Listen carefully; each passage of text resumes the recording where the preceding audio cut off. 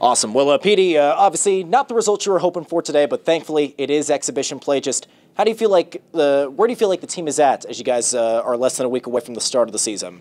Well, obviously the the coaching staff and the ownership uh, they got to get the team down to uh, 22, 21 guys here. So uh, there's a few moves to make, obviously, but uh, it was good to see the young guys out there and uh, what they can do. So obviously we got a few kinks to work out moving forward, but overall I'm happy with where we're at. I was going to say, how, how do you feel? Uh, how do you feel like things are offensively? Uh, Coach mentioned you know things are a little bit disjointed, but still very very early in the season. Well, yeah, obviously you got to learn to play with new guys, and uh, you know, fortunately for me tonight, I was playing out there mostly with Alvaro, who uh, you know spent a lot of the season with last year, and but yeah, I know you get a lot of new guys in here. You got to figure out where they're going to be at what timing. So uh, it, it, takes time to develop that kind of chemistry, but it'll come along here soon. Uh, just as far as the newcomers, a lot of new faces. We've talked about this before. Who do you feel like has stood out so far uh, through camp and the first two exhibition games? Well, it's good to see the, the guys like Gigliotti, you know, coming in here and. Uh, not exactly sure what to expect from him, but man, that guy he uh, he moves out there. He's working, and it, it's fun to watch. And I can't wait to see what kind of uh, you know leadership presence that he brings. As you turn your attention now to the regular season, what are you guys going to be focusing on in practice this week?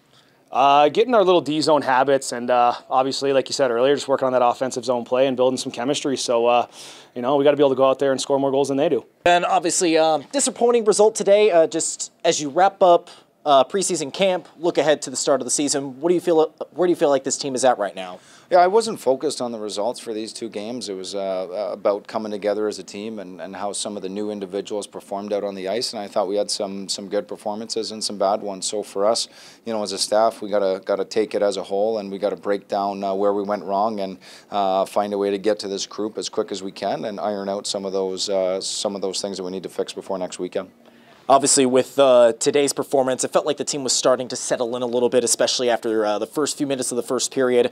Uh, what would you see out there as far as you know trying to get things rolling uh, from a chemistry standpoint, especially with a lot of those new faces like you mentioned?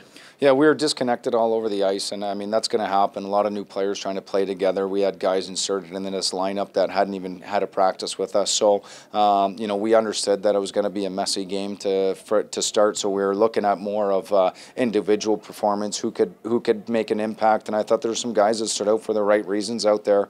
Um, so that's always a good thing. So for us, like I said, we're, we're going to uh, look at the video and find out where we went wrong and find a way to get this team connected going into the weekend. Obviously, looking at a bunch of the newcomers coming in, who has made a, a bit of an instant impact, you feel like, in this first week? Well, I mean, the guys that we're going to rely on heavily, Tye Felhaber, I thought he was great. I mean, he had some great speed, played with his heads up, made some great plays. Stefano Gigliotti, I mean, his speed was uh, really recognizable. And, and a lot of the newcomers that, uh, or sorry, the guys that have been here before came back and, um, you know, left the, the same impression that we've always had of them. They're going to be good players for us here this year. So uh, for us, there, there were some good individual performances, and we're going to keep trying to ride, uh, ride their back.